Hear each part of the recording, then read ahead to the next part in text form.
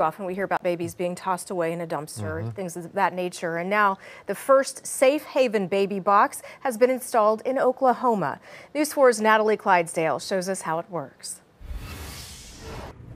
Well, this baby box is the first of its kind in Oklahoma. It's something that the fire department and everyone else behind this effort hopes will save lives.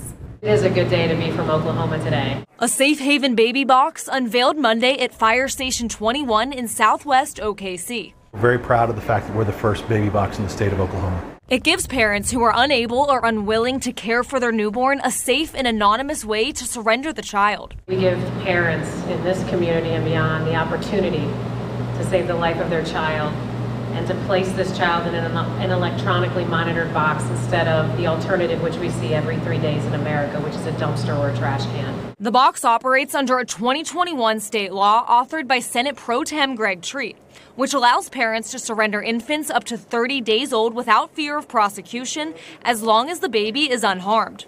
It's very appropriate. Uh, you all are rescuers, and this really does rescue people. A parent can drive up to Fire Station 21 and simply open the door. They can simply place the baby inside the bassinet, inside the box. The door locks from the outside. Motion sensors and a silent alarm then alert firefighters to the baby inside. It is climate controlled.